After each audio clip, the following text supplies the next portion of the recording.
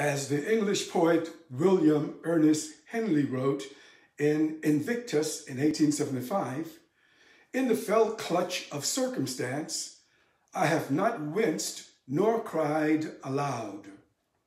Under the bludgeonings of chance, my head is bloody but unbowed. Hello, social media. It's Stephen Middleton coming to you live from the Possibility Action Network in Lancaster, South Carolina.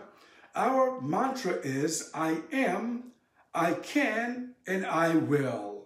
I am Possibility Man. This special feature in February is on entrepreneurship, great moments in business.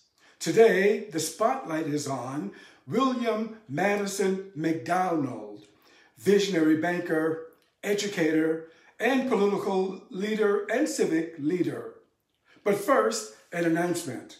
The Possibility Action Network shares information with professionals and business-minded individuals about a category creator, breakthrough technology that many health professionals consider to be more important than the discovery of DNA. To learn more about this breakthrough technology, call my information line at 803 339 1101 or send me a friend request on Facebook and a personal message. William Madison McDonald was an entrepreneur and business leader at the start of the 20th century. His parents, George and Flora McDonald, lived in a log cabin in Texas where they were enslaved until 1865. Their famous son, William Madison, one of five children, came into the world in, as a free man in 1866.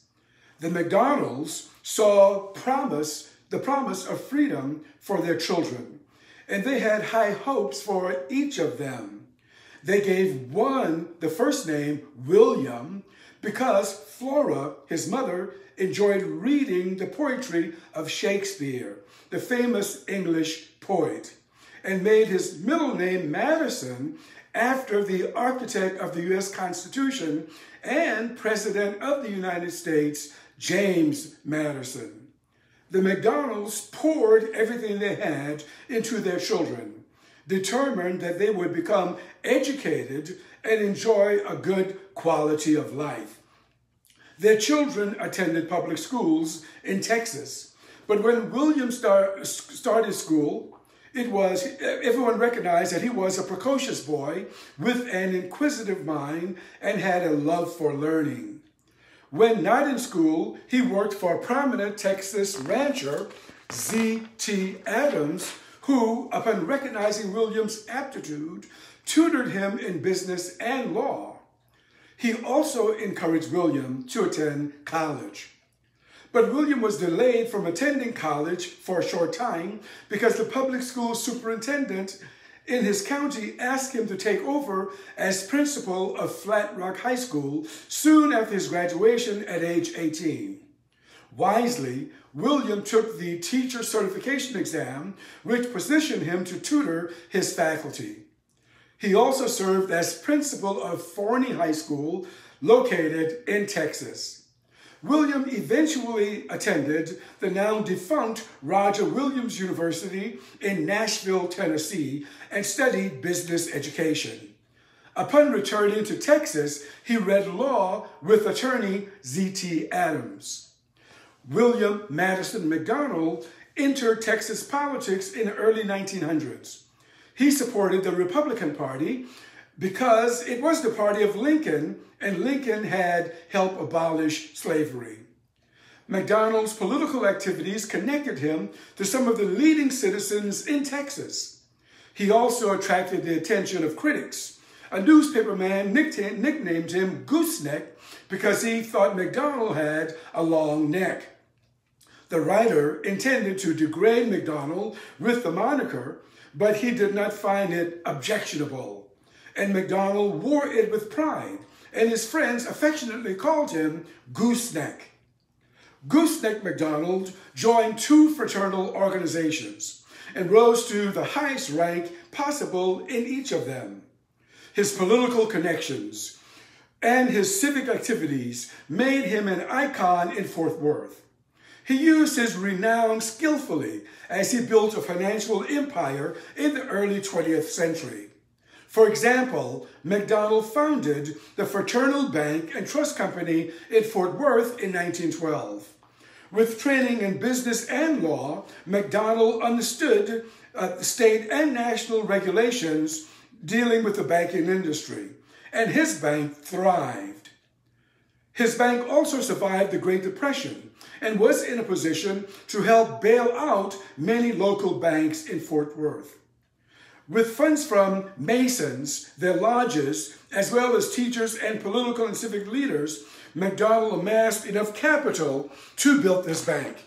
And with the bank in place, he began to make loans to area residents. Prominent among them were teachers and business leaders. McDonald did not discriminate. His only qualification for a loan was the capacity to repay it. McDonald also bought a handful of other businesses and owned rental property to serve people needing a place to live and office space for businesses and professionals. He was also the proprietor of the Jim Hotel, which he named in honor of his wife, Jimmy. It was a three-story, 50-room facility, distinguished among many people at the time. McDonald also established the Jim Hotel Cafe and the Jim Hotel Beauty Shop on site. In a country divided by color, the Jim Hotel providing lodgings for prominent travelers, including some of the legends in the entertainment world at the time. Ella Fitzgerald, Louis Armstrong, Count Basie, Ray Charles, Cab Calloway, and many others stayed and played at the Jim Hotel. McDonald sold the hotel in 1934 to Levi and Oscar Cooper, and they made it a, an, a, an attraction for jazz and blues enthusiasts.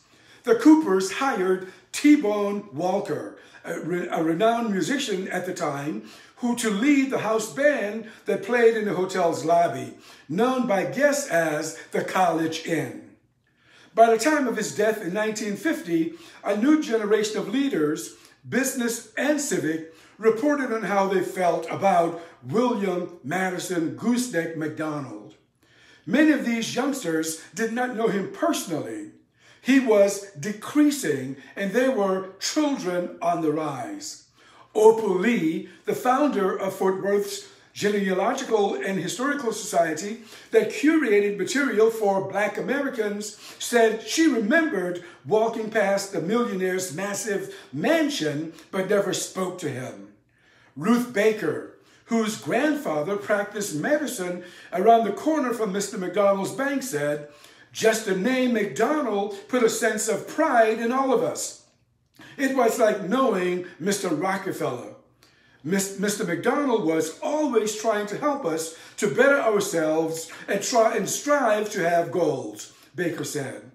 Many of these businesses of that era in Fort Worth started with loans from the Fraternal Bank and Trust Company. They also had accounts with that bank. William Madison McDonald was an icon in the 20th century and we are happy to report on him today. I'm Stephen Middleton with the Possibility Action Network in Lancaster, South Carolina. I care about individuals ob obtaining optimal physical health. I care about individuals enjoying optimal emotional wellness. And I care about people enjoying financial fitness. If you do know of any professionals or any business-minded people, individuals who are looking for something, ask them to contact the Possibility Action Network. Once again, I'm Stephen Middleton, Possibility Man, signing off for today. Until next time,